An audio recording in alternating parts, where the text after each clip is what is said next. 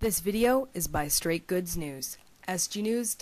In a by-election, they say that the matter is all basically the matter is closed.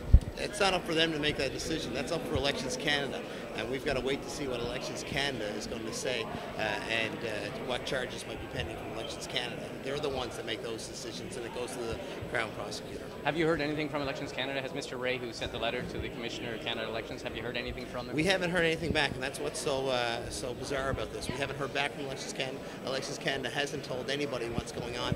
Uh, what happened last week was they probably told they told they told the Conservatives we're going to post the, the returns online, and they did a preemptive strike on the on the posting of the returns. The government's treating this as if it's just a matter of disagreement over expenses, and once they've been paid back, this is all fine. This is dickety doo. It's all great. Uh, there's no problem. I mean, what do you make of it? The, they are not following the law. This is about the law.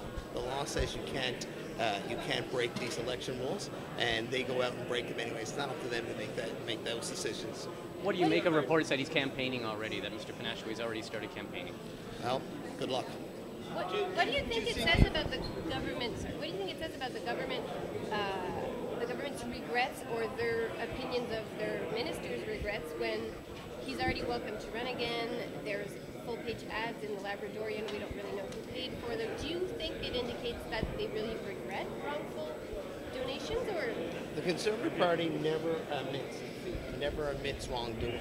And this is just another example where they don't, they don't, even when in his apology, I'm sorry, but I didn't do nothing wrong. Like he didn't even come out and apologize for what he did wrong. He's still uh, taking the, letting his financial agent take the blame. They never say I'm sorry.